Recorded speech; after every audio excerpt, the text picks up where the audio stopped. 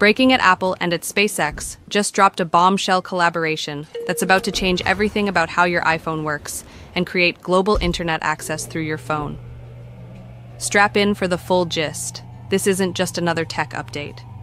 A. Tim Cook and A. Elon Musk just joined forces in what might be the biggest tech partnership of 2025 iOS 18.3 has been hiding a massive secret. Bloomberg's Allmark Gurman reveals Apple has been working in secret with SpaceX and T-Mobile Tim to integrate. Starlink satellite access directly into iPhones. Key difference forget dead spots. Please have a seat. Or pointing your phone at the sky like some sort of space cadet.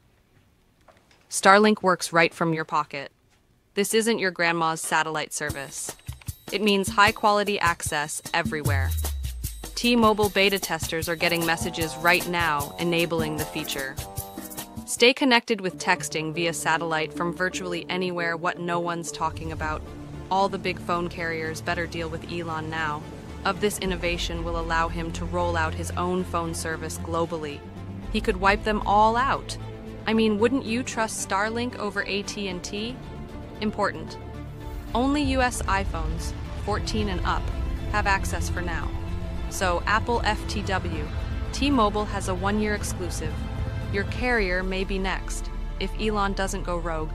But mark my words, this is just the beginning. If you enjoyed this content, please like and share.